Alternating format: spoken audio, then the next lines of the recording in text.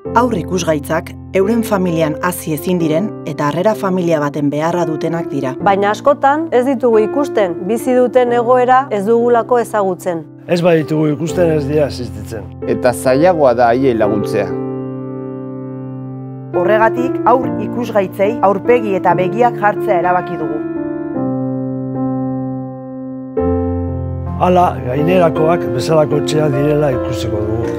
Handitzaket gai eta gehiago, esateko aurpegiak. Ez naiz ni izan dioten aurpegiak. Izugarri gustatzen zait zinemara joatea dioten aurpegiak. Bihar ez dut azerketa egin nahi.